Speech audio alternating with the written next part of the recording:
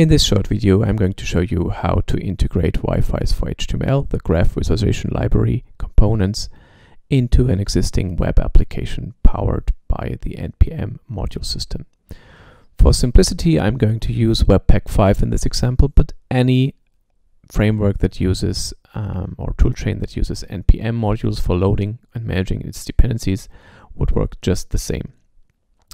So this is a Webpack 5 application. Um, let's run the the server and open the file.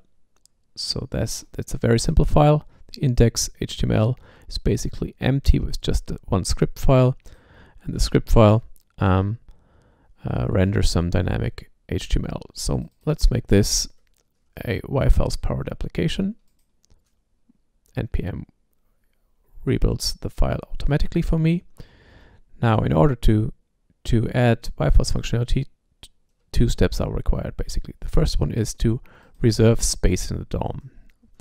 For this, we're going to uh, use a div, and a div doesn't have any size, so what we first do is specify a width and a height for for this um, basically for this canvas. Let's give it some background so that we can see that. So um, why do I have to specify a size? Because yFiles by default, the component doesn't have any size, so it would be zero and invisible on the screen. This makes it possible to, to use every kind of sizing mechanisms like CSS styling or animations or third-party frameworks um, to to specify or determine or modify the size of the graph component at runtime. So make sure to always specify width and height a, or at least a non-zero size for your graph component. Let's also give this an ID so I can later retrieve the and I, um, the div element in my JavaScript file. So before I um, load this into into the JavaScript, I need to specify the dependency in my package.json. This I can do via installing the npm module. For this, I go to the yFiles for HTML, uh, in this case evaluation version that, that I've previously uh, downloaded and unzipped.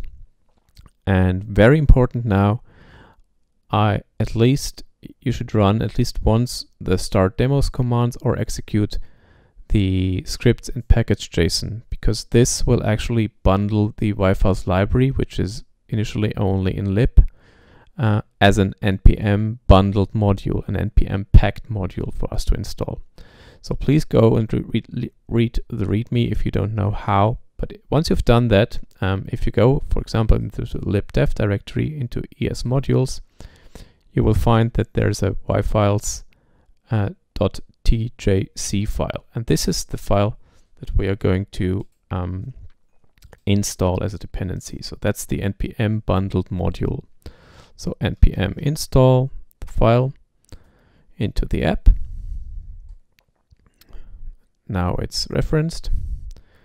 And um, next step is that we import the functionality using ECMAScript 6 imports. For this, we can import from yFiles. And if you get code completion over here and documentation lookup, you know that the import has worked as expected. If you don't get code completion in your IDE, um, then you you probably did not import the npm module properly. So importing the graph component allows us to call the constructor for the graph component. And there's a number of different overloads. The first one that we're looking for allows us to specify a CSS selector for the div that we use to, to modify our graph component. So let's do graph component, hit save, wait for Webpack to do its stuff, and then keeping fingers crossed and hope that we get yFiles loaded into our application. Oops, almost. We forgot to include the license. Um, this is simple. We import license, which is a dummy, and then we can specify the license.value. And this is where we need to put the, the JSON value. And um, if you're evaluating yFiles, the the life the license file um, can be found inside the lib folder and inside the libdev folder. And so I'm just copying over the license file into my source files over here. And then I could be just pasting in the and inlining them in here.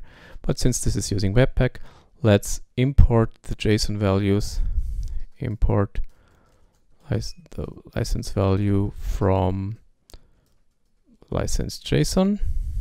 So we can do license value over here, save, wait for it to recompile, go back, reload, and now the license error is gone.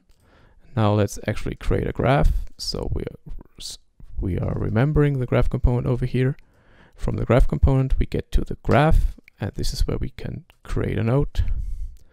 And once I save this and reload, we see our first graph, a very simple graph visualization with just a simple node. From here on, the journey begins. So take a look at the demos and add functionality to your application. Have fun.